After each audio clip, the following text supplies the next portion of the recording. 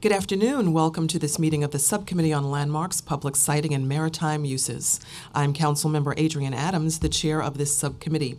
We are currently joined today by Councilmember Peter Koo. Today, we will be voting on LU 218 and holding hearings on two landmark designations and a site selection by the Department of Transportation. We will begin with our first two public hearings on LU 238, the 238 President Street House, and LU 239, the Hans S. Christian Memorial Kindergarten, two historic landmark designations by the Landmark Preservation Commission.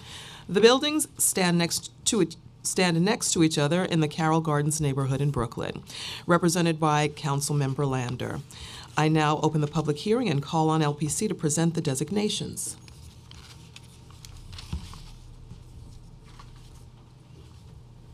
Lisa Kur- Kursavash, good morning.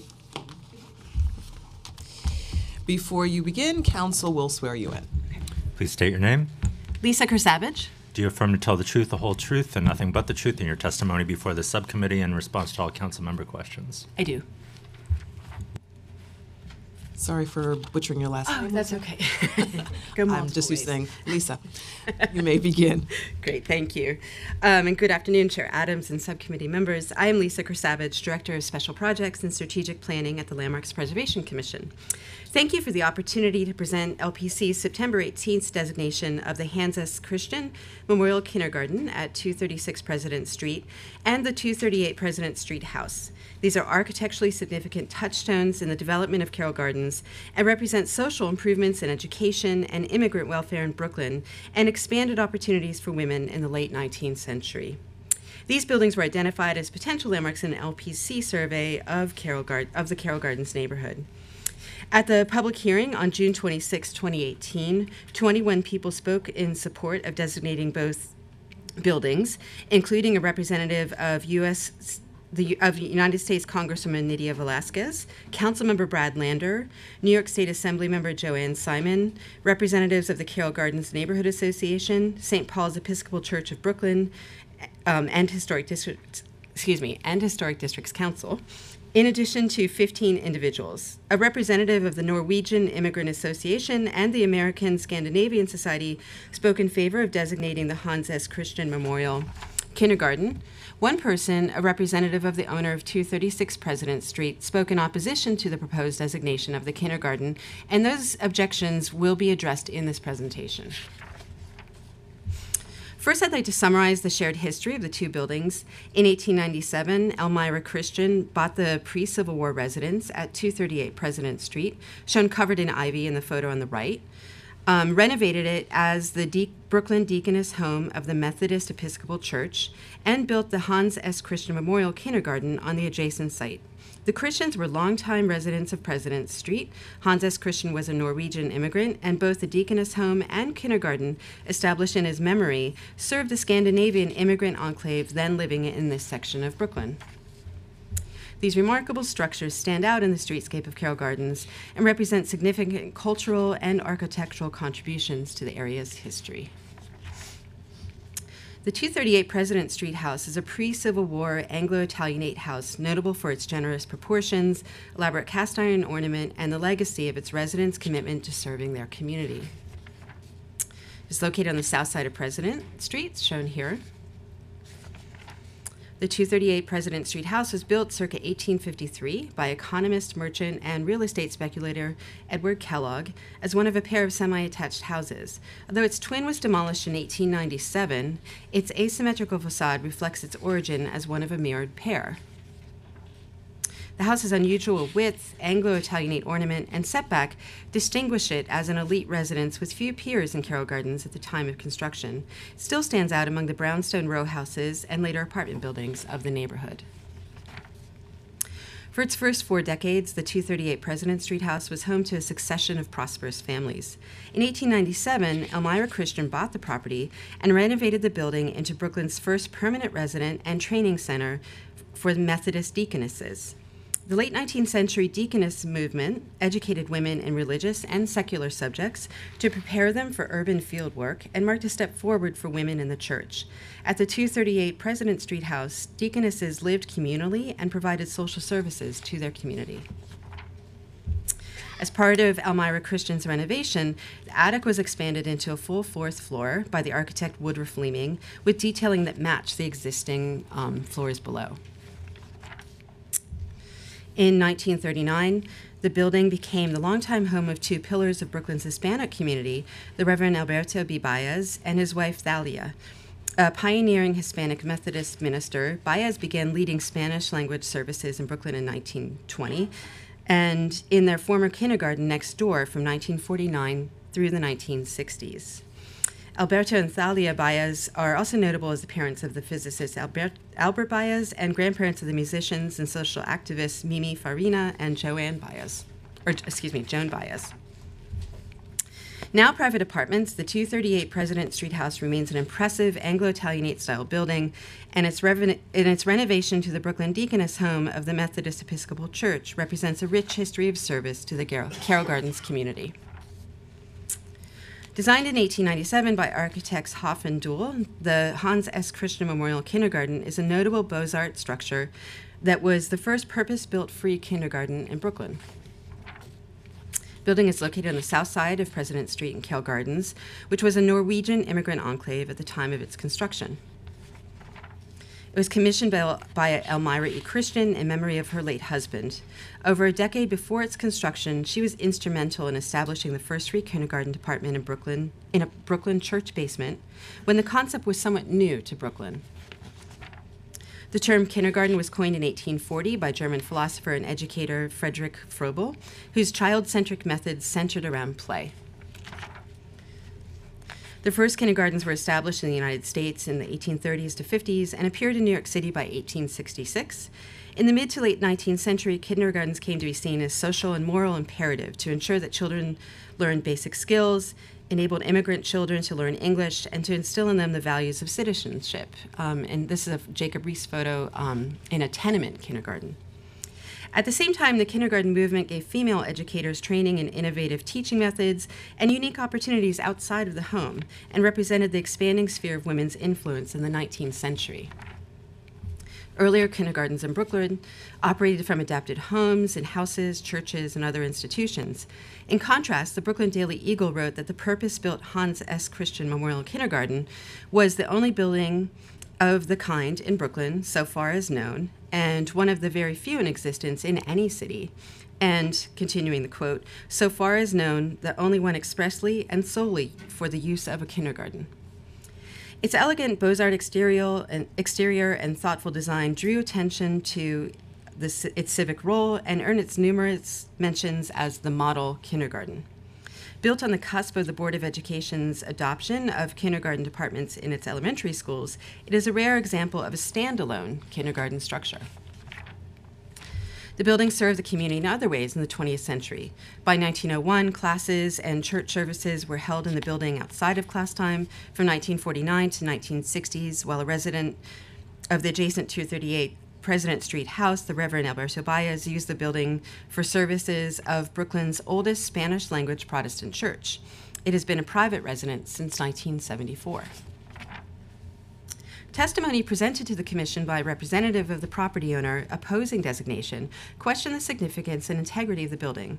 LPC's research department addressed these concerns for the Commission's vote, and I'd like to address them here as well. Um, the owner's representative asserted that the kindergarten program housed in this building did not originate here and that the structure had uses other than kindergarten classes over the course of history. And these assertions are true. However, LPC does not believe that these factors diminish the building's significance as a purpose built kindergarten. Um, as she sought an appropriate site to build a kindergarten building, Elmira Christian began an interim kindergarten program in the basement of her church, then in the first floor of 238 President Street in the months before construction. The structure was custom designed meant for use as a kindergarten. Later uses do not diminish the significance of the design. Because, and the second assertion is that because the interior was not under consideration for designation, the historic use was irrelevant and our use of the term purpose built was unclear.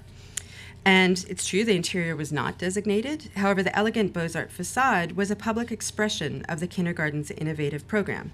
Its custom design made the Hans S. Christian Memorial Kindergarten an idiosyncratic statement building that was exemplary of the kindergarten movement. Our use of the term purpose built highlights the fact that this structure was designed to house kindergarten classes rather than being adopted to that purpose as has been done in other locations. And third and finally, that alterations have been made to the facade. Um, LPC found that the buff brick facade and quoins, decorative window surrounds, elaborate portico, cornice, and roofline details, and other elements remain intact and are consistent with the Beaux-Arts design meant to communicate the structure's noble purpose. As such, its Beaux-Arts design, building form, and exuberant features remain legible, and the alterations, including the addition of a garage, are reversible. In addition to its architecture, the Hans Christian Memorial Kindergarten is culturally significant, representing important developments in education, women's roles, and immigrant welfare in Brooklyn, which elevates this, its architecture.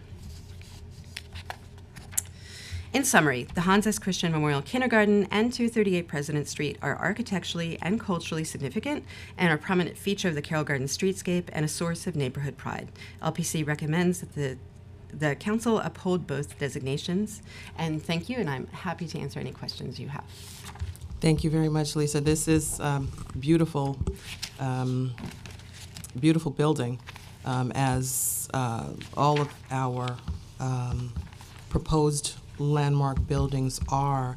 I guess my only question um, is going to be going back to um, the, um, I guess, the back and forth on this property uh, with individuals that are not necessarily in support um, of this designation. The initial, uh, the initial interaction um, with LPC and um, those who are in opposition um, to this property. Can you give me a little bit of background with that, and uh, not just the kindergarten aspect uh, alone, but the property, the total um, uh, inquiry basis um, with regard to the property itself and a little bit more of the opposition? Sure.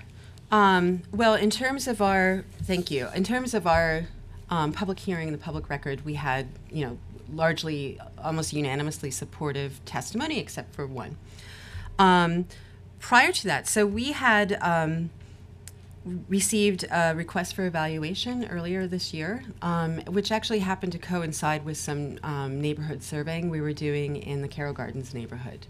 Um, so those things kind of happened together. Um, and we did initial outreach to both property owners in March of um, this year, March 2018. Um, and, uh, you know, property owner outreach is, can be sometimes challenging um, just because you know we depend on public records just like everybody else. So so getting through to the right people sometimes is more challenging. Um, we were successful in getting through to um, 238 president street property owners. It took us a little bit longer um, with um, 236 um, but we did have uh, quite a bit of back and forth or especially quite a bit of output from our office and we let's see i think we successfully made um, contact in april um, of this of this year. Um, that was after sending um, letters in march. Um, and we that was right before we calendared the buildings. Sometimes we prefer to have you know sort of robust outreach and conversations prior to calendaring, but sometimes that doesn't happen. Um, and then after that, we um, have correspondence back and forth. Um, and um, after the public hearing, we did have a meeting with the property owner's representative. Um, and we and we actually did also delay the um, designation vote at the request of the owner's representative. Okay, I was only trying to dig a little bit deeper because I am in receipt of the letter uh, from Susan Mauro and uh, just wanted to get a little bit more uh, information from you personally. Did you personally um, have conversation with her? Yes. Okay. Yes. Um, at um, she uh, testified at her public hearing, and then I was uh, at a meeting with her. Okay. Subsequent to that. All right. That that was my only uh, inquiry on this. I am I'm grateful that you addressed the uh, three the three other points uh, in detail, and those questions have been answered for me. So thank you very much for your testimony, Lisa. Thank you. Uh, we've been joined by Councilmember Miller. Uh, Councilmember Koo, did you have any questions? Councilmember Miller? Okay. Okay, Thank you very thank much, you. Lisa. Yeah, if you want to start to do the vote, we can do the vote. Oh. Oh, you want to read Okay. that one? I do have a letter um, from Councilmember Brad Lander. It's a summary of statement, and I'd like to read that into the record. He could not be here today. His district covers Carroll Gardens in Brooklyn, where these proposed landmarks are located. He's been an integral part of the community-led effort in support of the designation of these two historic buildings located at 236 and 238 President Street. A petition to designate the two buildings as landmarks has garnered over 1,000 signatures, which will be delivered to the New York City Landmarks Preservation Commission. The other local elected officials who support designation include Congresswoman Nydia Velázquez, State Senator Brian Kavanagh, and Assemblymember Jo Anne Simon. Councilmember Lander sees the designation of these buildings as New York City landmarks as an opportunity to save Car- to save a Carroll Gardens treasure.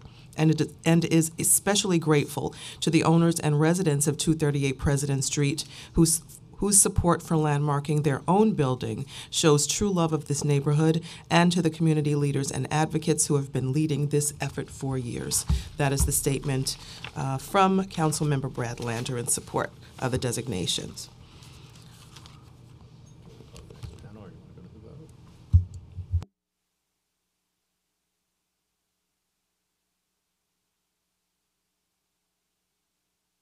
Okay, we're going to pause at this time, and we're going to go ahead and go for our vote. Uh, We're going to vote on LU 218, the designation by the Landmarks Preservation Commission of 550 Madison Avenue, 37-story postmodern-style skyscraper that served as the former at and t headquarters as a landmark. The subcommittee held a public hearing on this item on November 1st.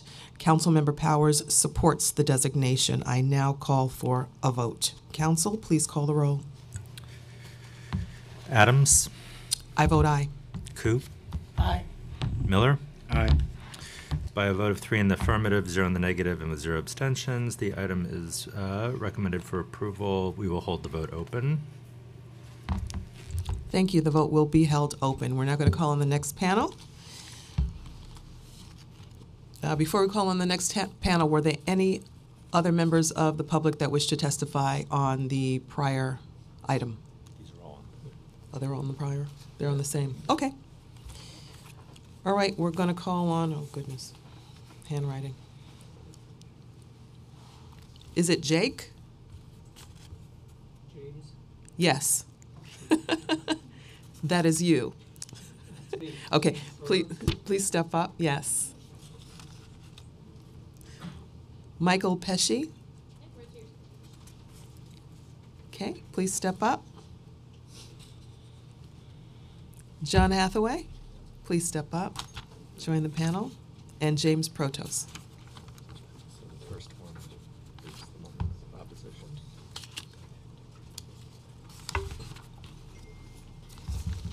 This is one of these.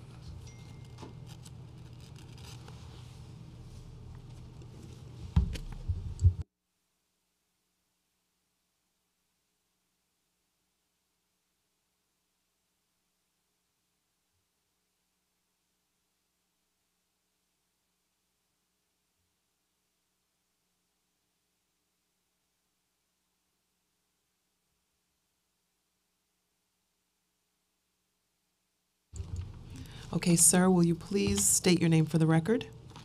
Yes, Michael Pesce. okay. Uh, Is it on? Does it project? That's fine. Please state your name again. Michael Pesce. Thank you.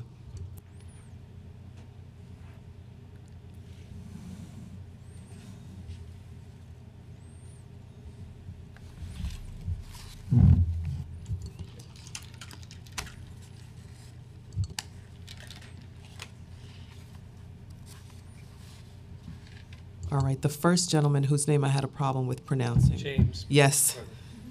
Please state your name for the record. James Protos. Now, you were the last gentleman that I called up on the panel. Who was the first gentleman? He was the first. You were the, I was the last. That was the Oh, first. were you the last?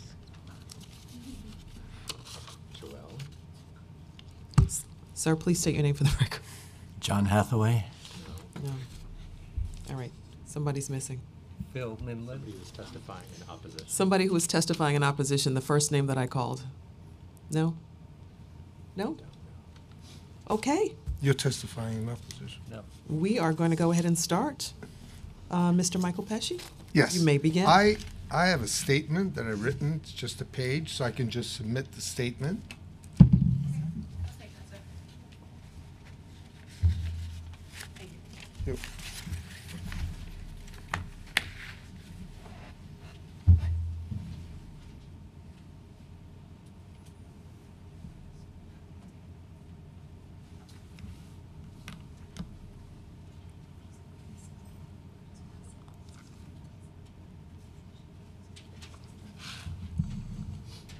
Okay, Mr. Pesce, please read your statement.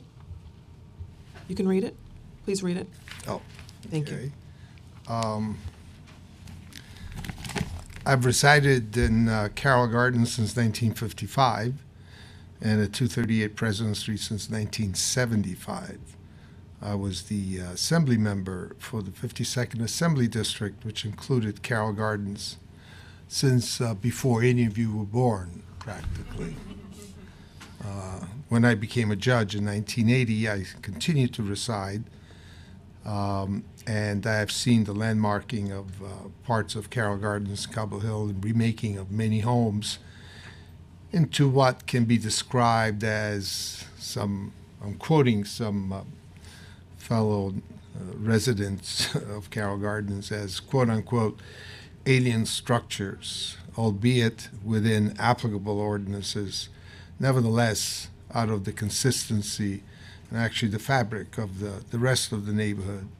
I've always supported the expansion of landmark areas block by block, cluster by cluster, or individual residences.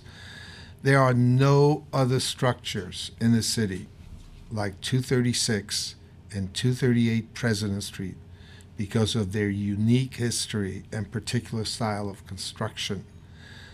The landmarking of 236 President will save what was once a famous church um, over some 30 plus years, there have been five conversion of churches and uh, to residential uh, use in Carroll Gardens, Cobble Hill, and Boerum Hill.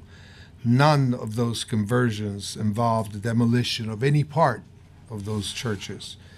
That would happen in this instance unless 236 is uh, uh, landmarked. I repeat, it didn't happen in any of the other churches. Uh, and those churches, as residential, stand out quite well um, and are part of the history of Carroll Gardens. 236 would be another. Um, it would be a travesty if it would not landmarked and preserved uh, for history. I urge you to approve the designation of 236 and 238 President Street as historical landmarks.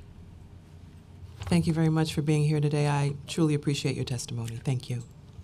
Okay, sir? Uh, good day. Thanks for granting me the floor.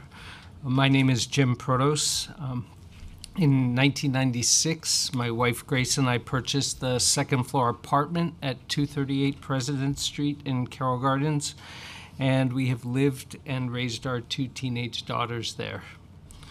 Uh, the two beautiful buildings at 236 and 238 President Street represent a shared history and a diverse mix of social, religious, and ethnic ties. The Norwegian, Mexican, and Italian immigrations, the Deaconess movement, a precursor of women's suffrage, the free kindergarten movement, various strands of the Methodist Episcopal faith, and the grand architectural expression of the mid and late 19th century when they were built. Current day representatives of these threads, as well as some 2,000 friends, neighbors, and supporters, signed our petitions earlier this year and voiced their desire to preserve these structures by landmarking them. I came here today to represent them and I want to express my appreciation for the Landmarks Preservation Commission's support and thank you, City Council members, for hearing our case and for considering our landmarking request. You perform a great service for the city. I would also like to thank my neighbors and friends, and especially, especially Councilman Lander and his staff, the Historic Districts Council, our local Community Board Six, and Carroll Gardens Neighborhood Association, Assembly Member Simon, Senator Kavanagh, and Congresswoman Velázquez for supporting our effort to safeguard these structures as a vital link to the history of the neighborhood and New York City. I hope you will help us fulfill our aim to secure landmark status for these buildings. Thank you and have a good afternoon. Thank you very much, Mr. Protos. I, I echo you in um, loving the idea of maintaining the history of our communities across New York City. Thank you so much for your testimony today. Sir? Good afternoon. My name is John Hathaway. Um, I'm a 30 year resident of Carroll Gardens, which may not mean too much, relatively speaking, but anyway. Um, um, I, uh, I'm also a, uh, a director of the Carroll, Good, Carroll Gardens Neighborhood Association, and I'm an architect. Um, first, I want to echo Jim's thanks to Brad Lander and particularly uh, Simeon Bankoff of Historic Districts Council, who helped guide and uh, support us in this effort uh, to have these buildings landmarked. Um, anyway, I, uh, as an architect, I've been particularly uh, fortunate to work on a couple of projects with the residents of 238 President Street, and I've witnessed their dedication to preserving the building. Um, in fact, one of the residents purchased the building in 1974 and saved it from a developer who was going to gut the whole place. Um, and now the, the interior of the building is well restored, uh, including its grand staircases, uh, in, in, addition to the preservation of the exterior. Um, and that's what's beautiful about this building. It really remains so intact. In fact, I didn't even realize until I did some research for uh, this whole designation that um, the only change as LPC had noted, is that the attic was expanded into uh, a fourth, a full fourth floor, but it was done so sensitively that it um, it's just a, a, beautiful example of how a building can be treated and maintain its integrity. Um, anyway, uh, the uh, the 236 President Street Hans Memorial uh, Hans Christian Memorial Kindergarten, um, you know, it was actually constructed in the side yard of 238 um, the owner, um, Elmira Christian, you know, just lopped off a you know portion of her lot to build this thing. Um, and uh, so they're intricately tied together, their histories and uh, um, the land they sit on. And it, it's a particularly, as again, I'm repeating a little bit of what Landmark said, but uh, it's an unusual example of Beaux Arts architecture in Carroll Gardens. Um, and uh, particularly significant in that it is a freestanding um, structure, allowing the front cornice to wrap around both sides of the building. Um, and despite the unsympathetic garage addition, uh, which appears to be easily reversible, the facade is otherwise intact. Um, as a member of Carroll Gardens Neighborhood Association, I just have to say we've been working on trying to get the very small two block historic districts expanded over the uh, past more than a decade. And while I don't consider these two buildings as a success in our grand uh, picture, it, having these two buildings preserved is so important because they're in fact one of the most important, uh, two of the most important buildings in the whole uh, neighborhood. Um, and we'll certainly continue our efforts to get the uh, Carroll Gardens uh, district expanded um, so that its uh, community is well preserved. And it would be great again, in designating these two buildings, if it can join the other individual landmarks that are right within a two block radius, including um, St. Paul's Episcopal Church and the John Rankin Home, which is now the Guido Funeral Home. Um, so there's a rich architectural history clustered in this area. Um, and uh, I think I'm not alone, just on a sort of a very personal thing, of, of finding myself both deliberately and sometimes subconsciously walking down this block because it is such a pleasant block to go down because of these two buildings. The way they're set back, it creates a beautiful space. You can appreciate the entire facade, and um, it's just something that uh, you don't find too often in the city, and I hope you guys appreciate that too. Thank you very much. Thank you, Mr. Hathaway. I appreciate your testimony very much uh, for digging even deeper into the history uh, of Carroll Gardens for us. That is one of the most rewarding pieces of, um, of the job that I do when I take this seat uh, every month. So thank you very much for that. I know Lisa was taking notes about future aspirations as well. So, so, so thank you, thank you very much. Thank you, panel, for your testimony. Thank you. We've been joined by Council Member Barron, and our vote is still open on LU 218. Council? On the vote to approve LU 218, the at and t headquarters as a landmark, uh, Councilmember Barron, I vote aye. by a vote of four in the affirmative, zero in the negative, and with zero abstentions, the item is recommended for approval by the full Land Use Committee. Thank you very much. Thank you, Councilmember Barron. We have another panel. Thank you. Philip Mindlin, Simeon Bankoff, and Glenn Kelly, please step up.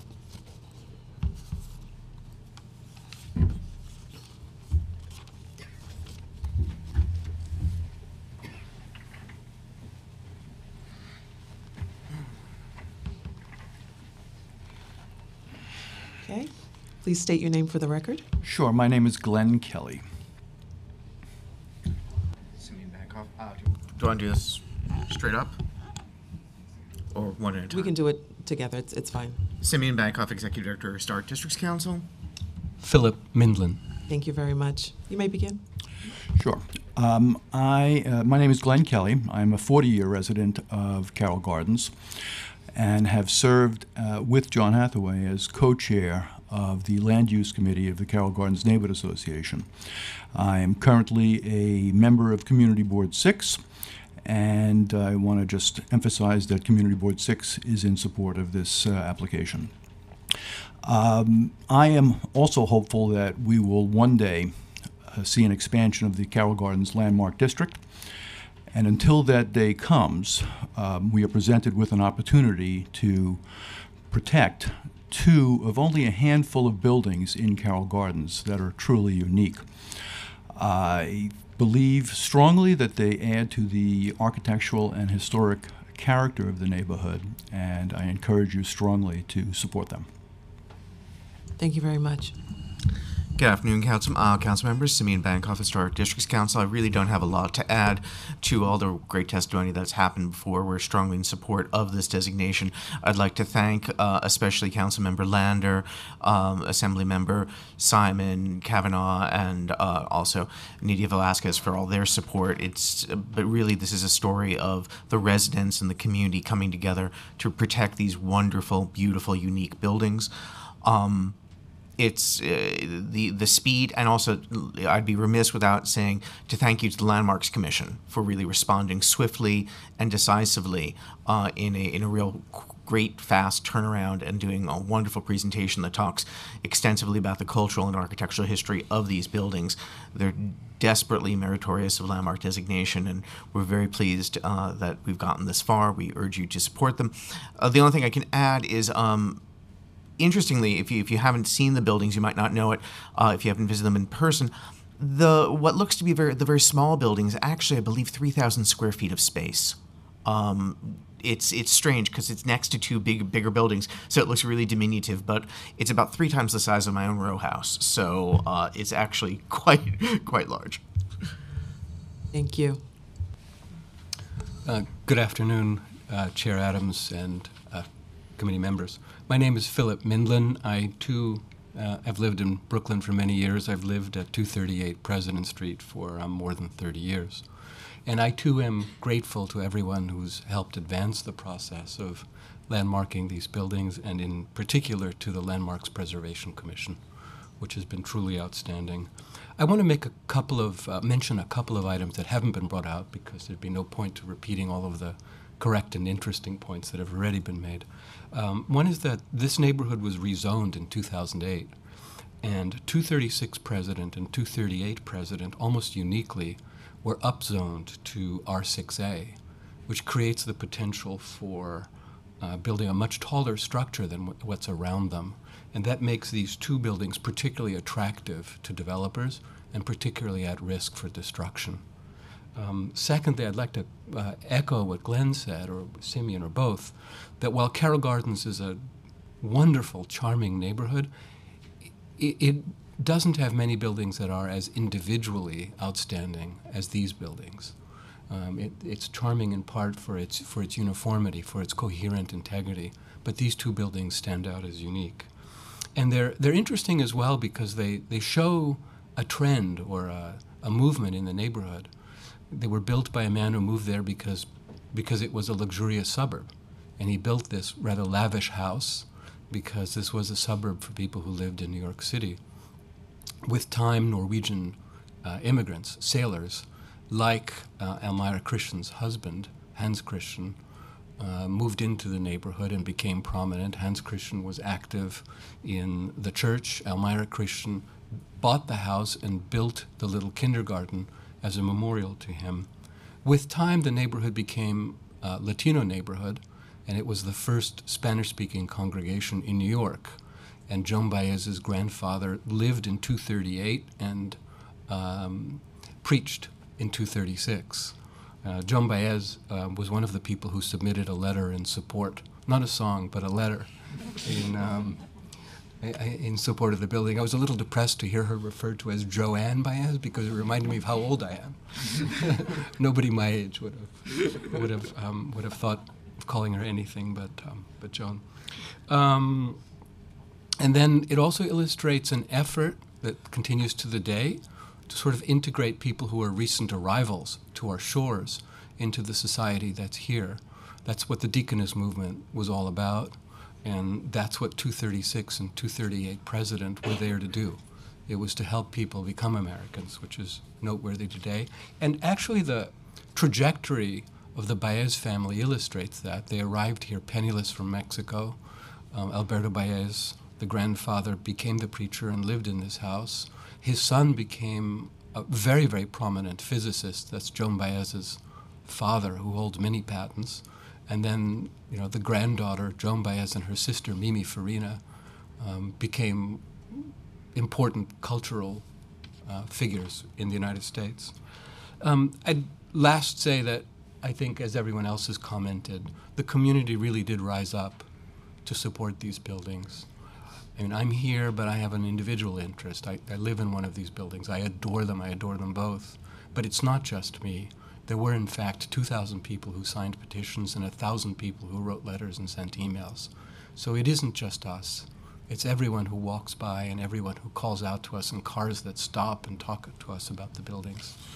And um, as noted, there were 21 people who spoke at the hearing and only one person in opposition. So with that, I, I thank you for your attention. And again, I, I thank Councilman Lander and I thank Simeon and the Landmarks Preservation Commission. Thank you, Mr. Mindlin. It's always nice to see the owner put the icing on the cake uh, at these hearings. So I thank you very much. Um, council members, did you have any questions for the panel at all? Okay. Thank you very much, panel. Thank you.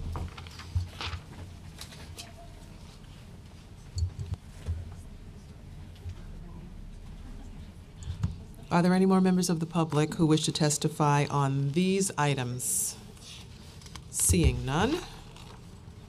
The public hearings on LU 238 and 239 are now closed, and the items will be laid over. Our next public hearing is on LU 256, an application submitted by the Department of Transportation and the Department of Citywide Administrative Services pursuant to Section 197-C of the New York City Charter for the site selection and acquisition of par- property located at 25 14th Street in Brooklyn for a DOT fleet vehicle maintenance and repair facility. This site is also in Councilmember Lander's district. I now open the public hearing. Okay, we'll call on, I believe it's, is it Keys Stall? Jessica? Yes. Good. We'll get you to state your name for the record, Jessica. Dale Lazerson. And Michael Molian? Molian. Okay, very good. Okay,